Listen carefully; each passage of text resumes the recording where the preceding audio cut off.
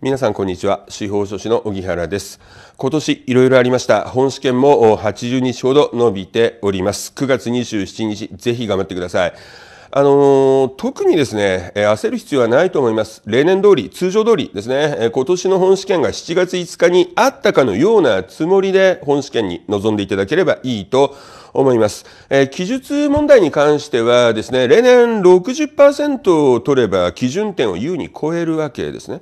どうやって60%を超えるのかっていうと、例えば不動産登記ですね、80%取れれば、商業登記は40%で合わせて両方で60%取れるわけです。不動産登記で80%取るっていうのはどういうことかっていうと、あの、実態判断、どういう物件変動が起きてるのかというところが間違えてない、および申請順序にミスがない、すなわち枠ずれが起きてない。これが前提です。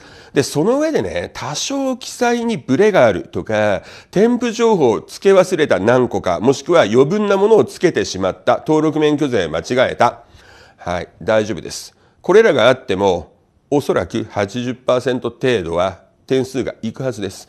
で、そうであればですよ、商業登記の方は、あの、申請日が2回ある場合に、1回目の申請日しか解き終わらなかったとしても、それが十分に精度の高い答案であるならば、40%くらいの点数は全体でもらえるはずです。そうすると、不動産登記と合わせて6割は超えるんですね。例年ですね、商業登記の2回目の申請間に合わなくて白紙の状態で受かっている人がそんなにたくさんではないが必ずいるんです。ほんのわずかではなく、ある程度の数いるんですね。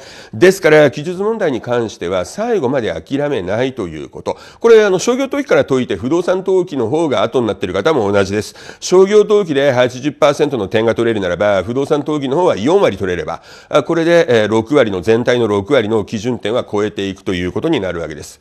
あの一番大事なのはですね、やはり焦らないということ、それから前日ゆっくり休むということです。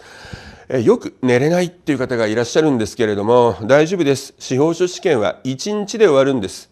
1日くらい睡眠不足でも実力は発揮できます。ただし、ゆっくり休んでいることが前提。だから、いえ、眠れないからといって夜中に起き出して問題演習など始めてはダメです。これでは休めません。え前日はね、たとえ眠れなくても目をつぶってベッドに横になってですね、ゆっくりしてください。まあ、起きて水を飲むくらいはいいかもしれませんが、朝までゆっくりした上で試験に臨んでください。記述問題はですね、必ず問題の底の中に全部の答えが入ってます。で、みんながですね、全部わかってるわけではないです。